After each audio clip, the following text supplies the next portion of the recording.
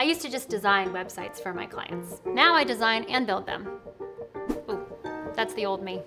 Going through round after round of wireframes, mockups, client revisions, and developer handoffs. Now when I want to build a site, I just create it. With Webflow, I can bring my designs to life without writing a single line of code. And its capabilities are limitless, so I'm not confined by uninspired templates. It's got all the professional design tools I've come to expect. Webflow takes care of the code for me, writing clean, responsive HTML, CSS, and JavaScript automatically.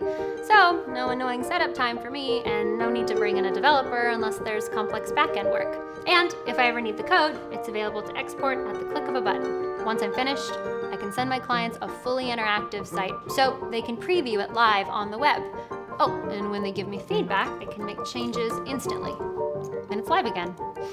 After final handoff, my clients can continue to make simple changes or write blog posts right on the page without breaking the site, which means I can go back to doing what I love most design. If you can design it, you can build it with Webflow.